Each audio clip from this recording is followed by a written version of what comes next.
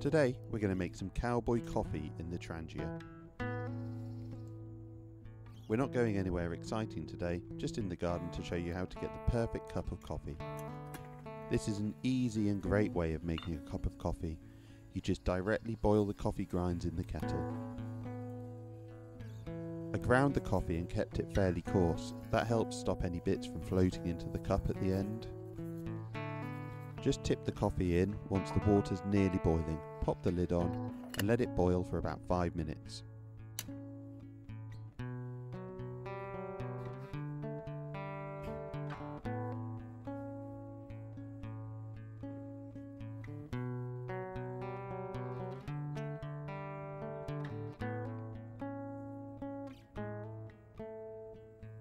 You can see it almost boils over, but don't worry too much about that.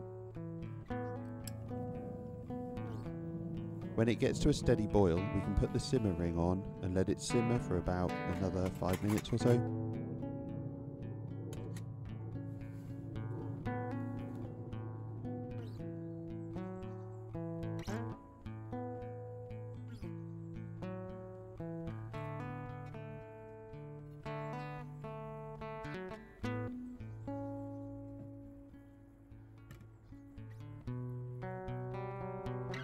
You can see it all bubbling away in there, it smells really good.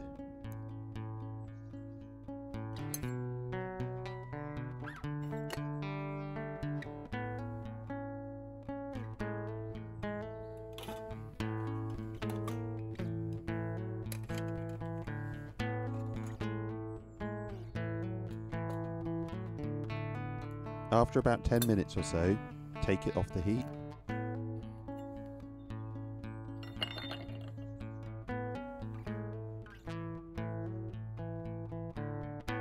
Now, a little trick. If you add a small splash of cold water, it helps the coffee grind sink down to the bottom, and you can hopefully avoid needing any kind of filter or sieve or anything like that.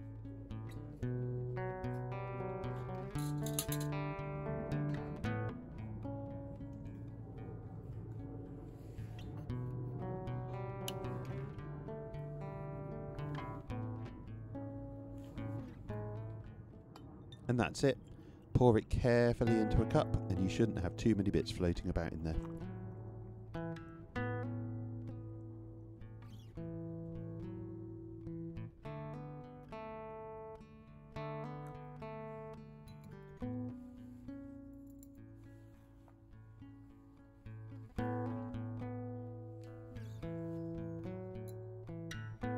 It tastes great, much better than instant coffee, not too much faff, and no extra equipment needed.